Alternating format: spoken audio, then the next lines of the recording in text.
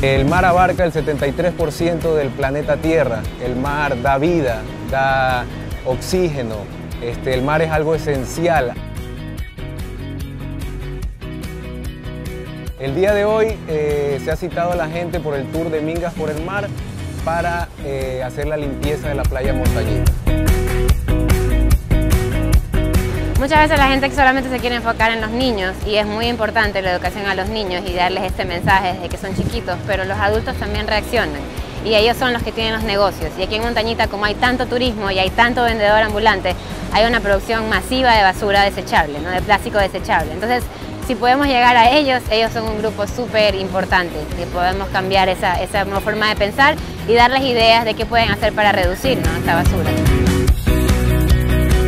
Los talleres, la concientización es muy bien porque habemos muchas personas que no tenemos el conocimiento del daño que causa la basura. Comenzando de nuestro planeta Tierra que estamos contaminando, pero yo creo que es hora de hacer conciencia y cambiar.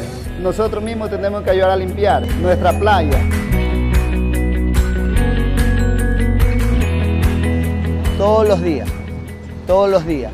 Y lo mismo le digo a mis amigos aquí, vendedores y comerciantes, que ayuden a limpiar la playa. Si ellos ven que alguien bota un desecho a la, a la arena, que la recojan, que no cuesta nada inclinarse un poquito para hacer la limpieza.